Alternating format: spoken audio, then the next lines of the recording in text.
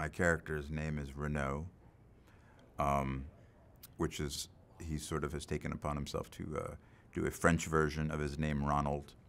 Uh, he and Michelle Darnell, who that's the part Melissa McCarthy plays, they were once, um, shall we say, close, and uh, there was a bit of business rivalry there. And uh, now I am her um, nemesis, basically.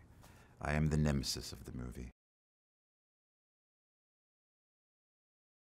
She's so good as an actress. I mean, all of my favorite actors who are really funny, they, you have to be a really good actor. You can't just, just rely on being funny. Um, she brings such honesty and truth. That's all, all that comedy is, really, um, at, the, at the core.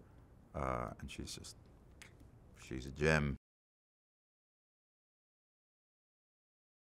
Renault is sort of he's definitely black and white. It's either if I can't if I cannot love you, I will kill you. That's his sort of approach to life. No real gray area there with this guy. Um, but yes, since he has a, a history with Michelle, he's sort of um, I think all the violence comes out of the frustration of not recapturing those early days. Um, but when Michelle at the at the at the end is sort of sort of turned on by all this violence, if you will, uh, it makes for some uh, fireworks. It's a joy. Uh, they they are dreamy.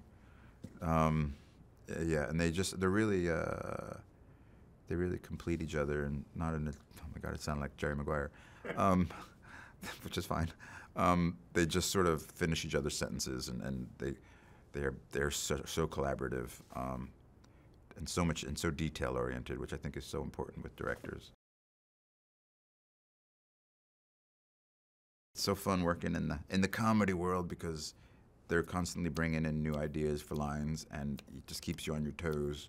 Um, but I love it. It's like it's like riding a wave. I don't surf, but I imagine it's like riding a wave because you just gotta keep. Uh, it, it's great. They're thinking on their toes and and and Mallory's always there, and, and Henchy, and they're they're spitballing ideas, and you're saying on the lens, saying it, spit, you're spitting them back on the lens.